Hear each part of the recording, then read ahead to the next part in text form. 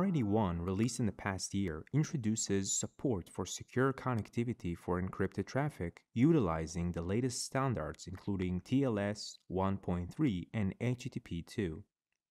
The TLS decryption exceptions are managed from the HTTPS inspection policy. In this policy, we can see here three exception rules. The first rule is to create an exception for update services such as Windows Update using dynamic destination object called HTTPS Service Recommended Bypass.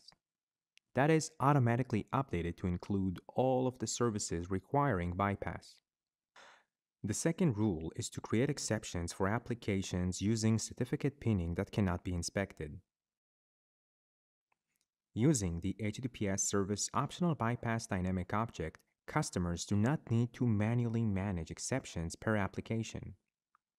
Here as well, the list of applications included in this dynamic object is continuously updated. Customers can also choose to create exceptions for custom applications or specific categories.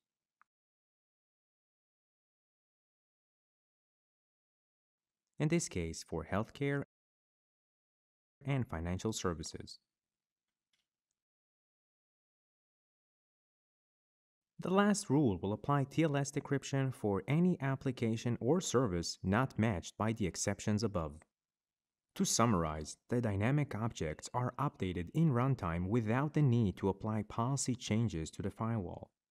This unique capability reduces the overhead in managing TLS exceptions, avoiding the need to frequently add TLS decryption exceptions on a per application basis.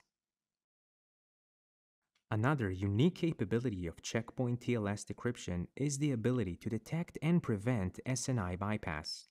In this demo, our corporate policy blocks access to adult sites, so when a user tries to access a porn site, URL filtering will block this attempt. Now, let's see what happens when a user is using a SNI spoofing browser add-on.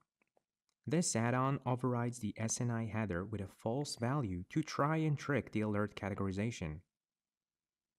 Now, let's try and replace Bank of America for the porn site.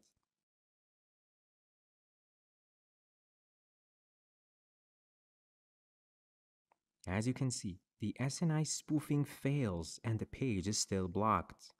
This happens due to the patent pending SNI verification capability that makes sure that the site categorization is done according to the real destination host.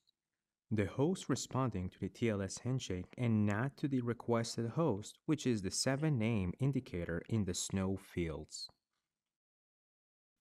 Now let's see how SNI spoofing attempt is being blocked by URL filtering. By reviewing the log, we learned that the attacker was trying to modify the host name for the server name indication, so the user will reach a malicious site instead of Bank of America.